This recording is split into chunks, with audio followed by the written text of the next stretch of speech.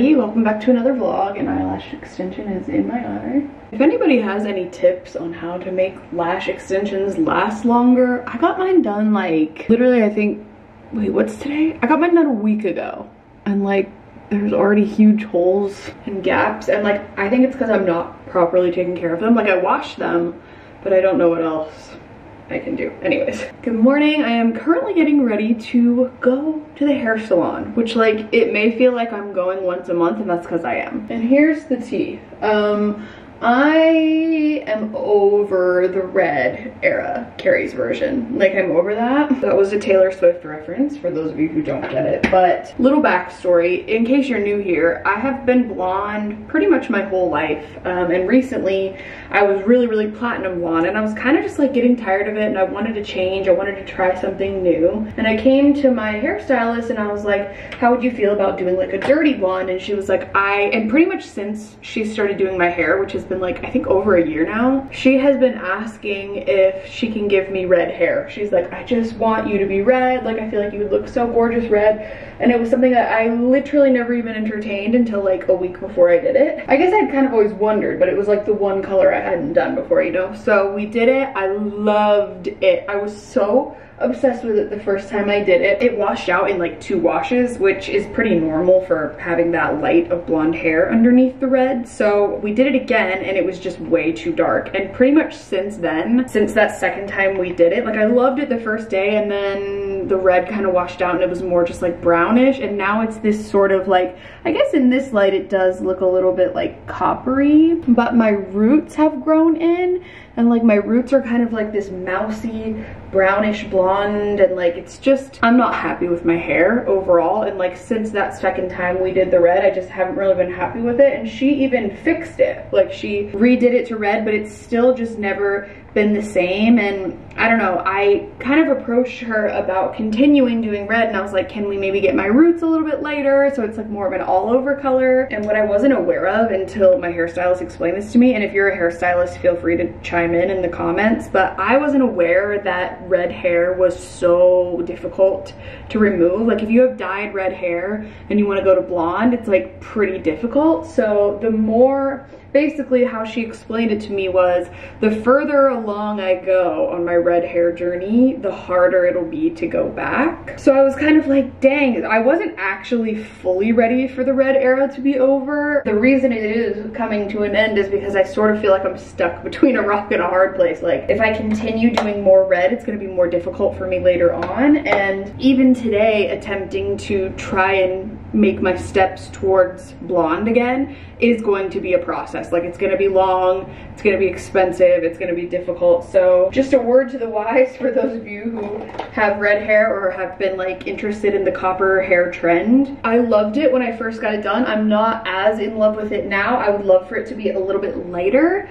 And like here, I don't know if you can see this way, but when I hold up the ends of my hair to my roots, like you can see the difference. Like my roots are pretty dark, you know? So anyways, that was a really long explanation for why I'm getting my hair done today, but sadly, it's time the chapter is closing. It's time to go back to blonde. Okay, just got ready and got dressed. Here's today's very casual OOTD because I'm gonna be sitting in a chair for like four to five hours. I feel like you can see the difference in color of my hair in this dirty mirror.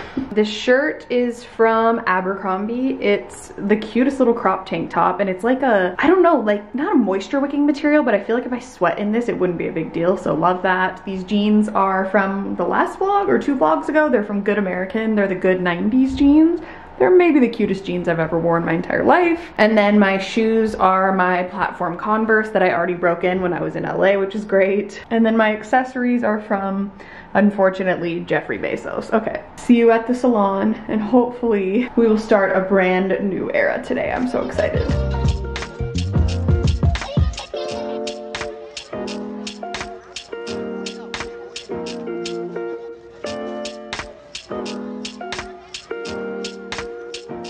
Okay, are we ready?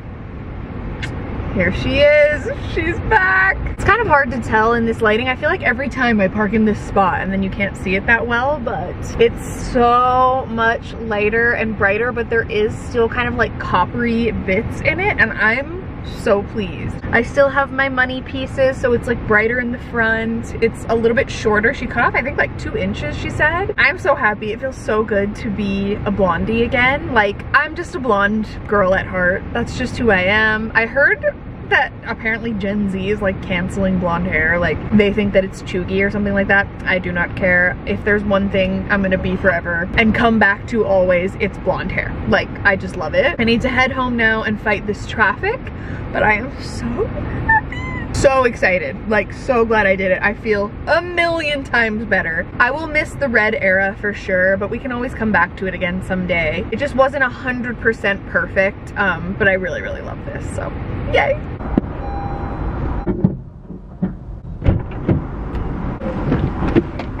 I remember the look in your eyes when I told you that this was goodbye. This lighting is sensational. Never mind. We'll talk later. Good morning. It is a few days later. It's actually like the following Monday and I'm just sitting down to do a workout and I realized that my Apple Watch is dead. So I'm waiting for it to charge. And I thought that I would answer some questions that you all asked me on Instagram. Over the weekend, I was feeling in like a very, you know, chatty mood. And so I asked what you wanted to know. And while I'm waiting for my Apple Watch to charge, the reason I am using it is because I'm testing out an app for a potential brand partnership um, on my main channel, but I need to use my Apple Watch for it. So anyways, Layla is also here in the background. We'll start at the beginning from Alex Cameron, who's one of my favorite photographers and people to follow. I think she's lovely. Um, she said, if you moved to the UK, which area would you live? That is a fantastic question. Um, and I couldn't possibly choose. Definitely the countryside is what entices me.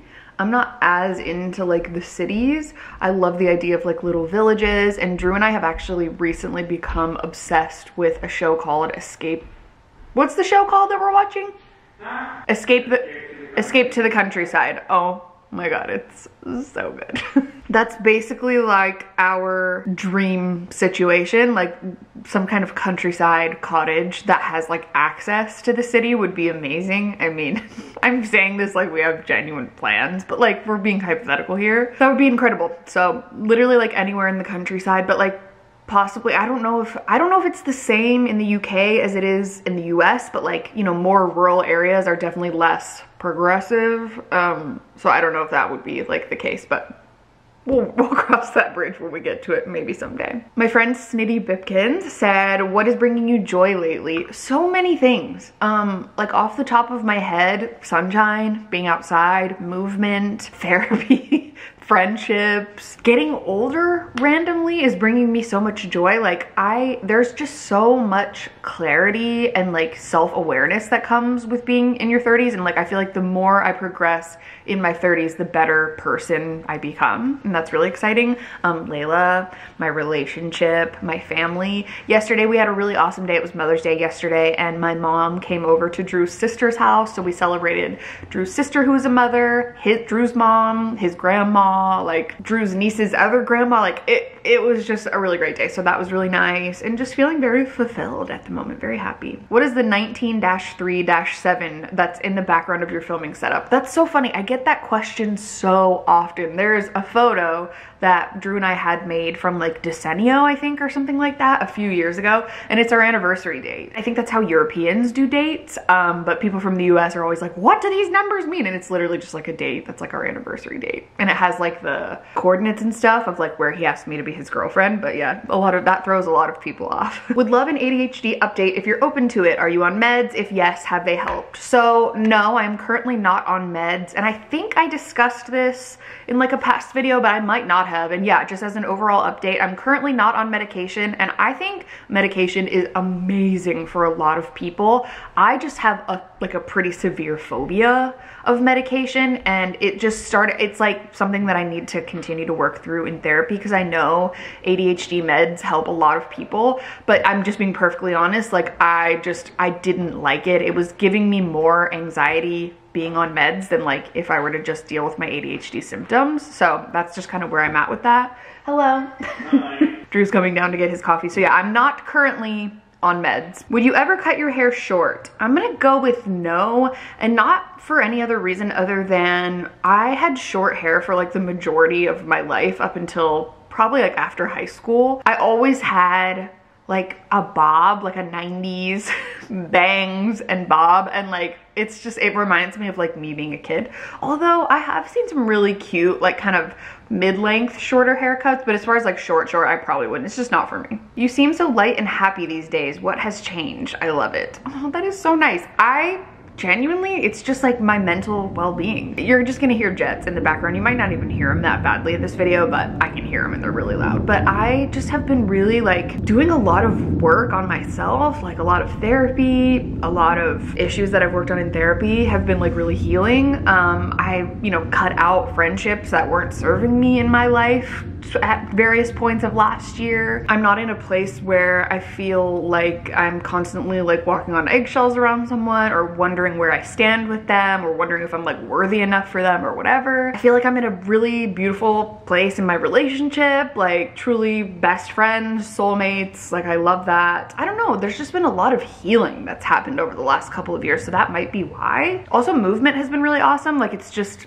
been a really big stress reliever, but don't get it twisted like I definitely still have my days. Like last week was not great. I guess I just don't often document those, so I really only vlog like when I'm in a good mood for the most part. Although there was that one time I cried like a few weeks ago, but whatever. Are you house hunting any longer? Not currently. Sort of the, the like brief answer that I'll give is like what we were doing last month when we were looking into buying Drew's mom's house. If you didn't know, we were looking into buying Drew's childhood home. If you missed that, I think it's in the last vlog. And it didn't end up working out just like financially. It didn't make a lot of sense. It was gonna be way too expensive compared to like what we were getting. And it just wasn't like, it wasn't 100% right? The kind of reason that we were interested in that in the first place was just simply because it, we weren't gonna have to with her selling the house to us like you know in a private sale type of thing or like a for sale by owner we weren't gonna have to like compete in this crazy housing market and like neither of us really want anything to do with that i saw some comments on that video and one person said that they had 12 offers declined on a house. And I was just like I simply I'm too anxious of a person. Like I could not deal with that. So we're not currently like on the market for a house at the moment with the market being the way it is. Like I don't want to have to get into a bidding war every single time and put in a bunch of offers and have them get denied. And like you know I just don't want to deal with all of that. I would much rather just like I said in the last video like appreciate this time that we have while we're renting and like not have a whole lot of responsibilities when it comes to a home and have the flexibility to move around when we want, maybe try different neighborhoods, maybe move out of state, like whatever. So we'll see. We'll see what ends up happening. But no, currently as far as like house hunting goes, we're taking a break. Favorite thing about Tennessee, Arizona, and California. Tennessee, my favorite thing is that everything's green. Um, I love fall. I love that my dad and my best friend are there. I love like the childhood memories. I love queso. Oh my God, if you know, you know. Queso is not the same in all places. And I totally recognize that like the queso in Tennessee is, it's like white queso dip um, for chips. And like it's from a can, but it's just delicious. Layla's snoring. Favorite things about Arizona. The winters are the most absolutely perfect thing in the entire world. Like Arizona is the perfect place to live in the winter. I love it. There's always sunshine. I love that. Like there's rarely cloudy days. And then when they do come around, like it's actually quite nice. It's like refreshing when it rains. It's like so exciting. I love monsoon season. I love our friend group here. I love that my mom and Drew's family are here. His nieces are like a huge part of our life. So that's definitely my favorite things. And then like childhood memories, like very, very young childhood memories here are really special. That was like a really special time in my life. And then California, oh my God. I love the beaches. I love the architecture. I love like so many of the amazing vintage buildings and apartments. I love palm trees. There's some here, but they're better there. There's so much culture. There's so much different kinds of food. I have randomly four of my closest hometown friends that ended up in LA, so that's really exciting. I love Disneyland, like there's just so many things to love. So yeah, those are off the top of my head my favorites. I will end it on this very polarizing question, which is crunchy or smooth peanut butter. And I don't know, this is gonna turn some people off from me, but I'm a team smooth kind of gal. I'm just a creamy PB kind of girl. My dad would disown me. He loves essentially like the crunchier the better. My dad wants to eat a peanut sandwich and like that's just not my thing. I want a peanut butter. The only crunchy butter that I like is cookie butter with like the pieces of cookies in it, but I'm just a team smooth. I'm so sorry.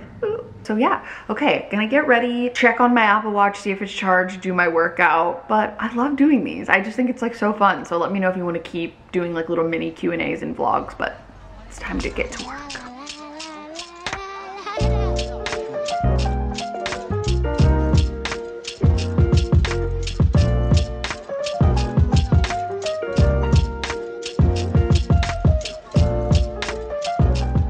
All right, everybody, that's gonna do it for me today for this vlog. I'm actually going to have a little bit of pool time. I have a lot of travel coming up this month, so for the last couple of weeks, I've actually been working like double to try and get ahead on some work. So I'm actually gonna take advantage of that and really, really rest and enjoy it. So I'm going to sit on this hammock right here and then do some reading and then I'm gonna get back in the pool, the little kiddie pool. I just filled it up with some clean water and I'm just gonna enjoy myself, read a book, and do some freaking relaxing for the next couple of hours. But thank you so much for being here. I'm sending you all my love and I will see you in the next vlog. Bye.